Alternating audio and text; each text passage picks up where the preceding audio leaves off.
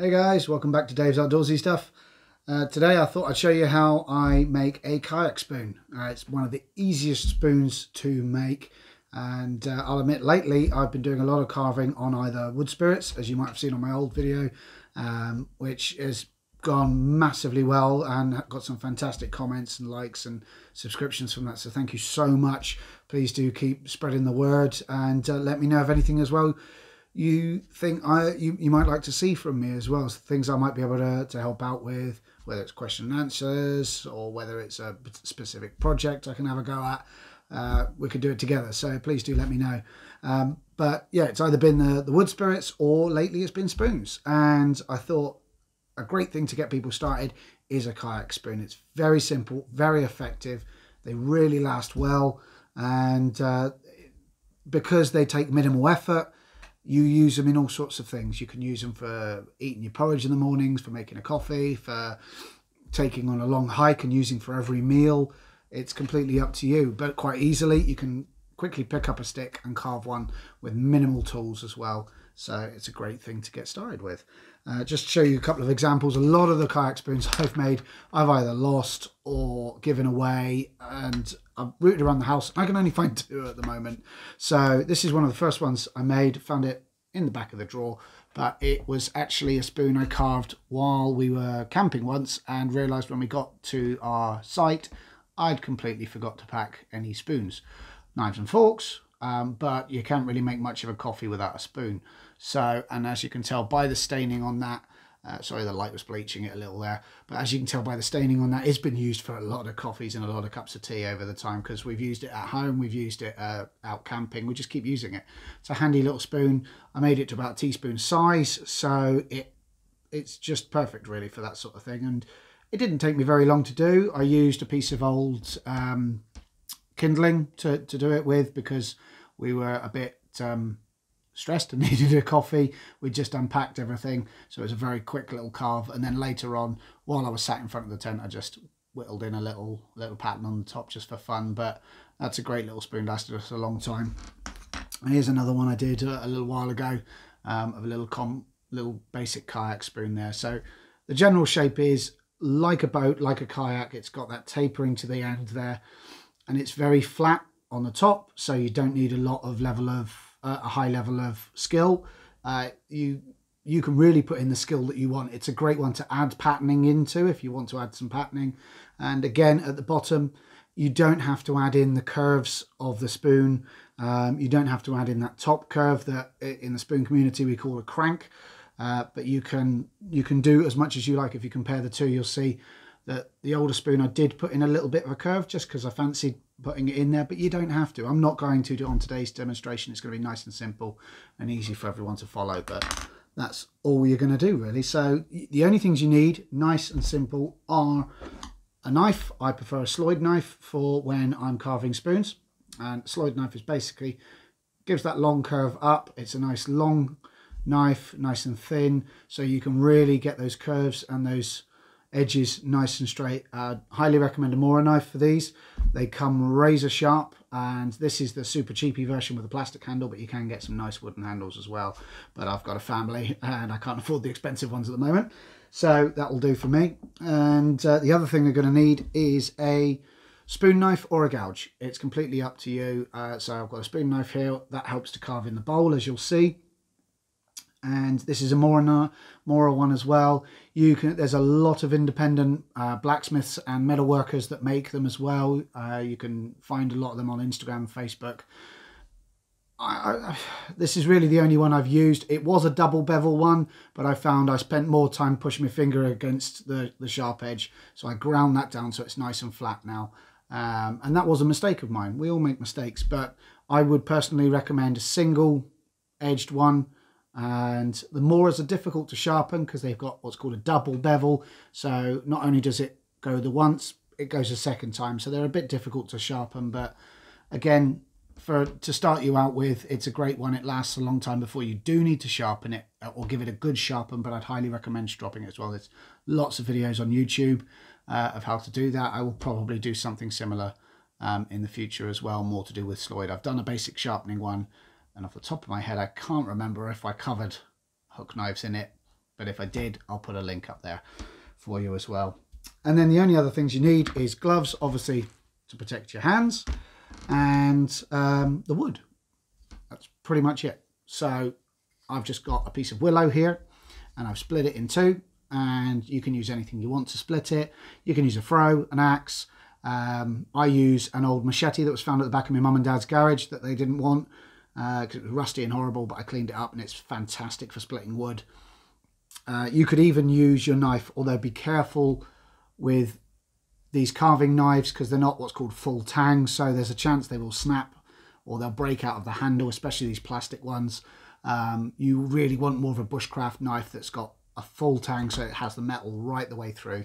But all you have to do is just put it on onto the top of the wood where you want to split it give it a whack on the back with another log or a mallet or, or whatever you might have with you and just split it right through. But like I said, make sure you've got the proper knife for it because you might just ruin your favourite knife if you do that. Um, and so that's really it. Let's get started. Okay.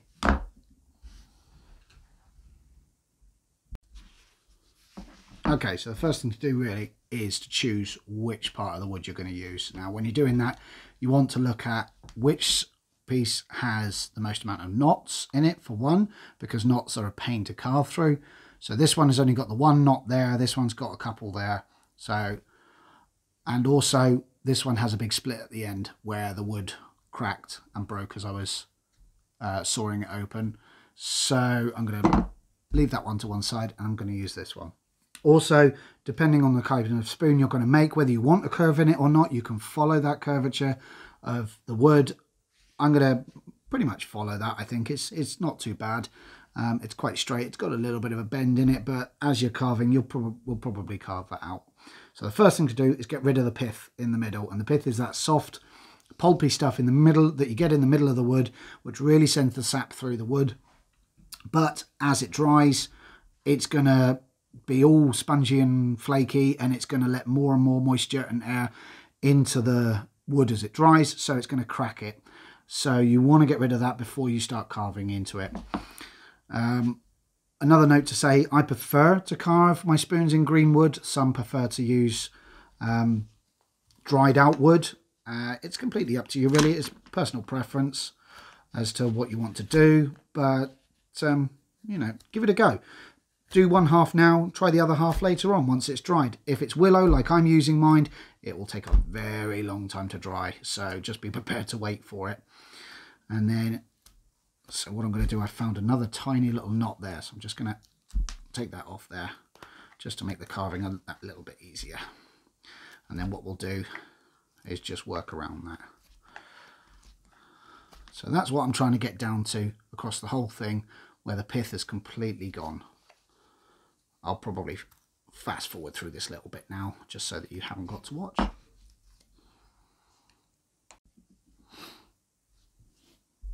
Okay, so there we have it. So the pith is completely gone. Uh, all you can see is just the tiny part of that knot just starting to come through there and we'll just assess that as we go really because this is a, a, nice simple spoon for mucking about making a mess with. It doesn't have to be perfect. It's not something i'm going to be planning on selling or giving away. It's something that's just going to be a useful piece of kit in the either in my camping bag or in my bush bag or for my forest school or, or even just keep in the back of the drawer for a cup of tea. So that's where you want to get to to start with. It's worth noting as well as you're carving keep looking up both ends. Try and get it as flat as you can to start with. Now I can even see there where that knot is. There's a little bit of a lump there, but I'm not that fussed at that at the moment. We'll probably take some of that off anyway, but try and get it as smooth and as flat as you can. That will give you the best start to it. So once we've done that, we're just going to grab our pen and I'm going to run a line, straight line down the middle of the wood to give us our center line. Okay. Then I'm just going to choose where we want the bowl of the spoon. Now I'm going to try and avoid that knot. So I'm just going to draw a spoon shape. And I wouldn't recommend going right up to the very tip there. Leave a little gap where you're going to do it because you, you run the risk of not carving that end and carving with a sharp carving knife and cutting with a saw is going to give you two very different feels and very different looks. Cutting with a saw leaves those pores open whereas cutting with a very sharp knife will give you a nice clean finish. So i'm just going to bring it round to the outside and match it as as well as i can there. Now i like to do freehand but you can draw this on a template first. You can mark in on your template where your middle line is. You can even fold it along the piece of wood so that you've got the exact measurements there and then really have a go at playing with it. But I'm just going to wing it for this one. And then with the kayak spoon, because you're not normally with other spoons, you will come in at this point here and really bring in that thin neck. With a kayak spoon, you go to the further furthermost edges and all you're doing is you're bringing it back down to where you want that end to be. So I'm going to bring the end here just about where that knot is so that we've got that out the way. And I'm just going to sketch it in. Now normally I'd do this with a pencil, but because of the camera and making it that little bit easier, I'm going to use a pen for you.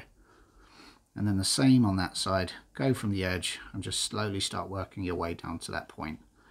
And now it's, it's completely up to you when you've done it, whether you want to round off the tip, but this will give you the basic shape of your kayak spoon. And you can always fiddle with it as you go, as you're carving, bring it in a little bit, but that's going to give us the basic shape. Now this is where the beauty comes in because with a bigger spoon, you might well need to work on those axe skills to really start cutting in. With a, something like this, you're only going to need a knife because it's nice and small. So I'm just going to start working around that edge now, carving in, firstly around the line we've just made.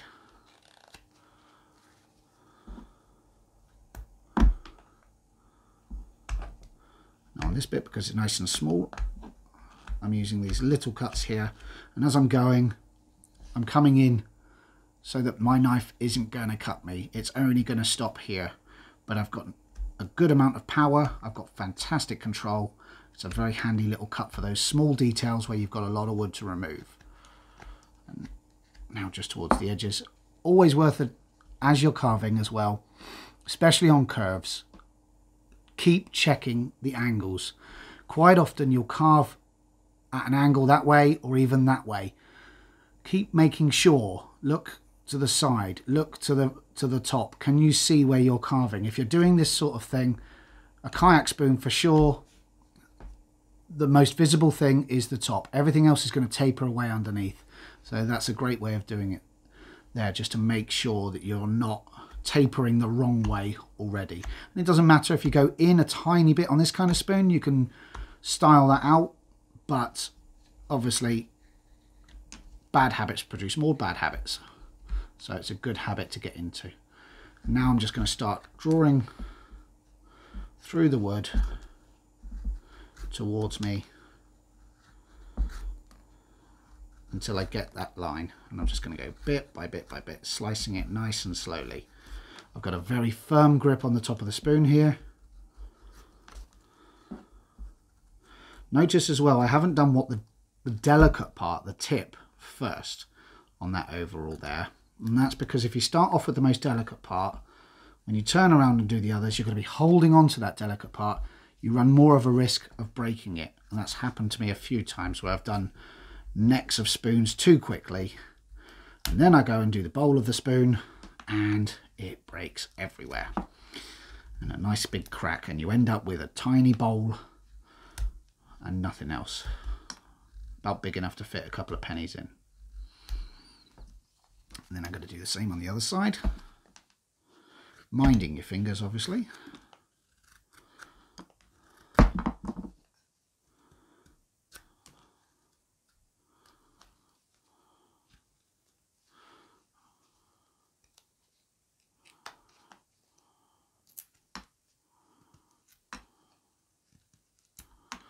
This is the part now and you can see it. I've just cut through it where that knot is coming through and those knots are going to be difficult but it's something we've got to put up with if we're using fresh green wood.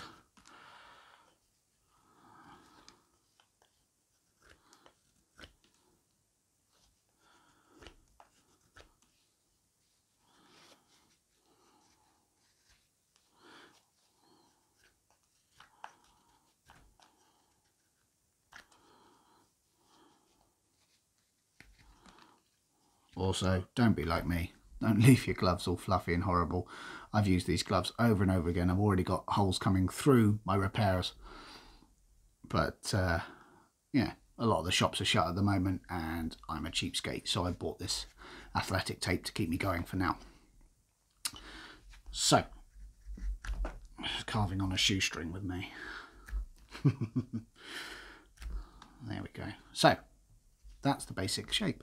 Done. That didn't take long at all. So now, I'm going to start bringing that line in. So again, with the pen now, I'm going to take the bark off and then I'm going to slowly bring it up, probably to about just over halfway, really. I don't want it to be too thin, run the risk of it cracking and breaking. And then I'm going to bring it back to the very deepest up there. So just bring that that line, sketch it in, doesn't matter. We can always, we're going to take this part off anyway, so it doesn't really matter about leaving a bit, little bit of pen on there for now. And I'm just going to bring that in there. So do the same on this.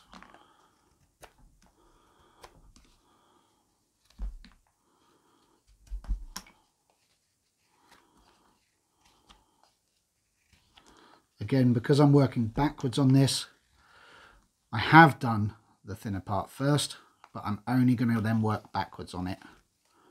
So I'm still holding on to that thick part for now, because I know that the back of this isn't going to need a massive amount of work doing to it because it's already rounded as being a stick. So it's just taking the bark off really. You can leave the bark on if you really wanted to. There's no problem with it. So a lot of spoon carvers do leave the barks on, especially on the handles. It has a beautiful effect, but some reason, whenever I try to do it, my bark always goes a funny colour. And it's not just because it's willow, I've tried it on other things as well, but I don't know that magic touch yet. Sorry about that break in the video there. My camera decided it was going to have a funny few minutes. So, we've got the edges here. We've taken the bark off we've rounded it. I've rounded it a little bit at the edge. So we did have a, a flat edge to it. I've just taken that up to make it look more like a spoon. And I've taken the cornering and the edges off there. So all we need to do now is just neaten it up, take off those tiny little slivers of wood just to give it, stop it looking blocky and make it flow that bit better. And as I've said on videos before, if you see a straight line on your carving and you want to make it look curved, just keep carving the straight, the um, angled parts, those cornered edges. And it might seem sometimes like you're just pushing it off to the edge, like you're flattening out a bubble underneath some sticky paper, but you will get a much better rounded edge and it saves you using sandpaper which can open the pores and can lead to some nasty endings, especially with cookware and eating things like spoons, knives, forks. So anyway, we'll neaten up the rest of that later on. Now comes the fun part, the bowl of the spoon. So I'm just going to, with my pen, draw a very thin line just around the edge of the bowl. And that is just going to give me a gentle guide to where to put my spoon knife or gouge, whichever one you're using. So then we've got that and it is such a lovely tool to use this. So I'm going to reverse the carving in my hand and I'm just going to use it to scoop it out. I've got my thumb out the way and I'm just scooping little by little by little out. And the sharper your spoon knife, the better you're going to get of your carving. I've just realised I haven't plugged my microphone back in, so if it does sound a bit different than it was, I apologise, but you should still be able to hear me. Okay.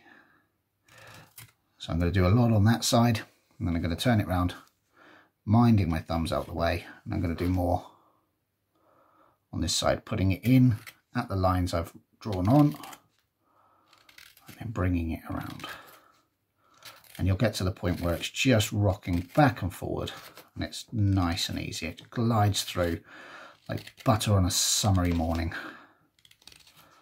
You know, the moment it's not quite melted, but it's just perfect for your toast. And again, like carving the rest, you just keep going until you're deep enough and you've got a smooth enough bowl there.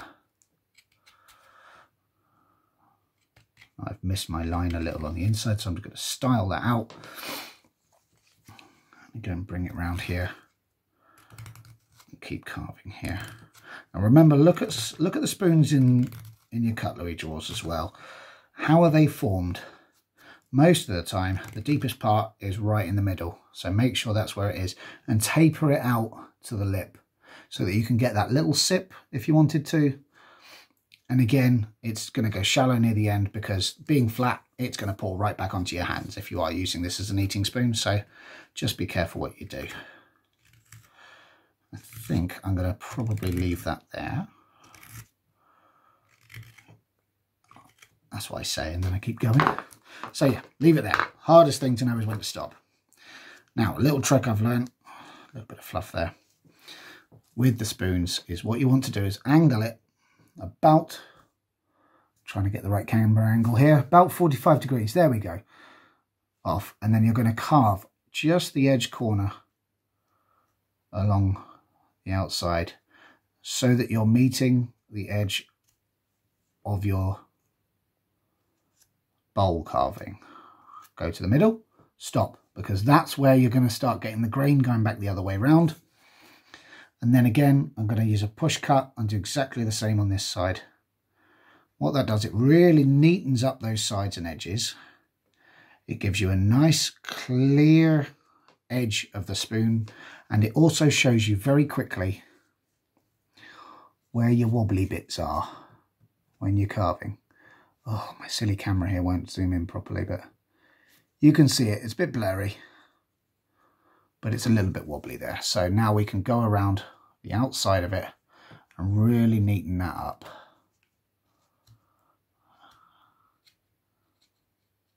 Remember, this spoon could end up in your mouth. So you don't want edges and flat parts and knobbly bits rubbing against your tongue. You want it nice and smooth. You don't want to stick it in your mouth and be thinking about the spoon and not what's on inside the spoon.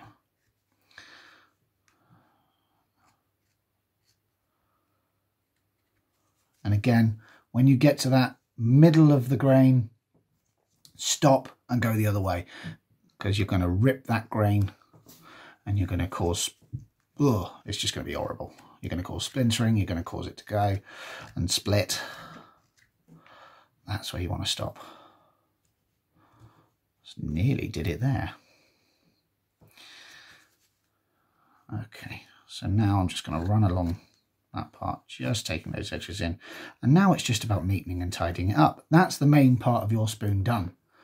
So now I'm just going to run the knife along and just take off the pen marks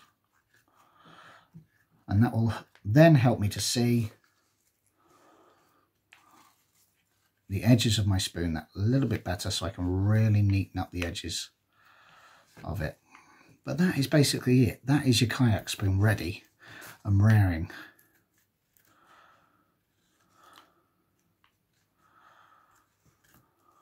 There. Taking those edges off, I'm going to go back along here and put those angles in on the edges. Much better. And then now I can go along. I'm going to put that angle in right to the tip. And again on this side.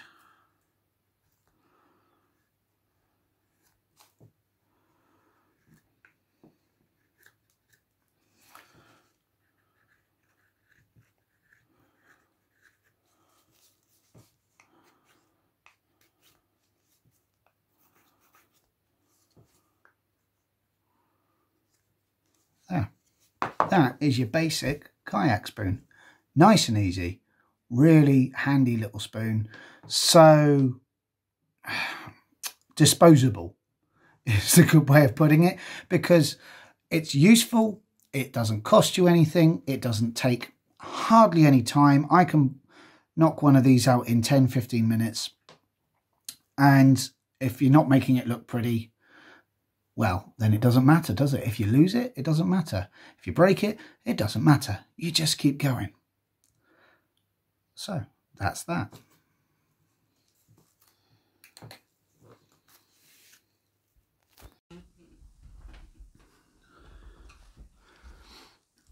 Okay, so a quick word about finishing your spoons though as well, because again, if you're going to be using this for eating or, or even just storing up on a wall, you want to make sure that it is coated in something that's going to protect it.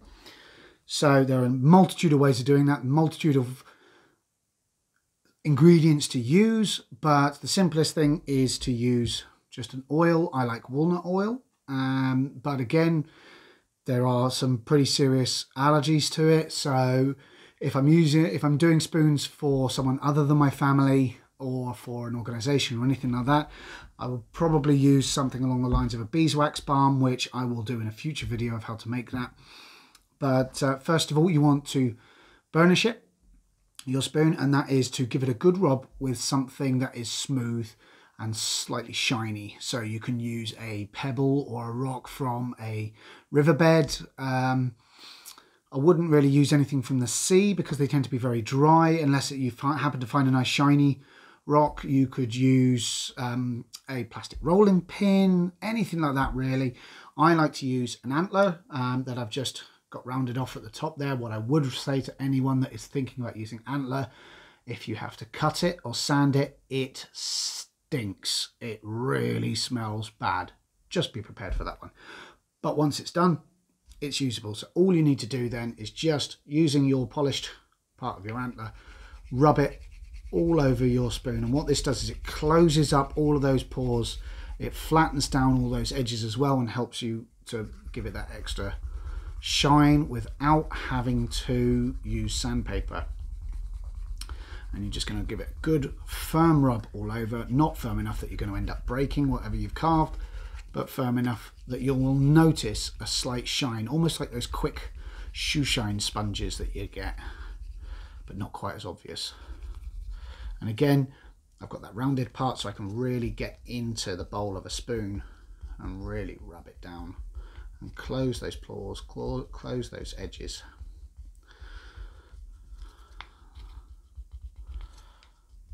Now, now ideally you would wait for your spoon to be completely dry for this, but because this is just a demonstration video and I'm not really fussed about this one, I'm just going to do it for you to show you what to do. Um, but you would normally leave it to dry on your shelf for a little bit. I wouldn't put it on a radiator because that slow heat is more likely to crack it. Again, I would leave it to dry first uh, if you wanted to bake your spoon, which will give you a nice sort of brown colour. Um, but uh, I've done it with green spoons before and they've been safe, they've been okay, but it is a very sort of potluck. It's a roll of a dice and you're lucky if you get a six sort of thing. I've just been lucky, I think, lately. And then all you're doing is getting your oil.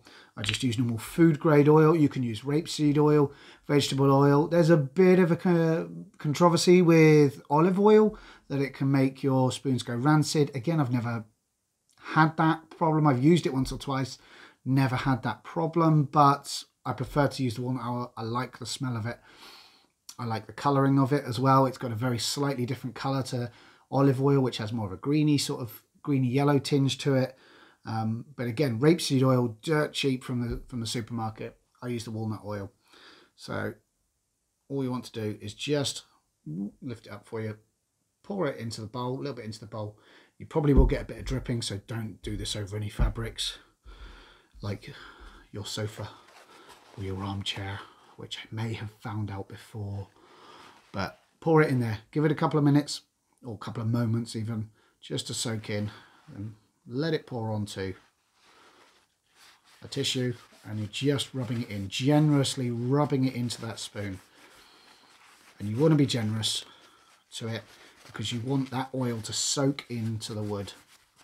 And you're just giving it a good rub down you want it so that it's nice and shiny all over.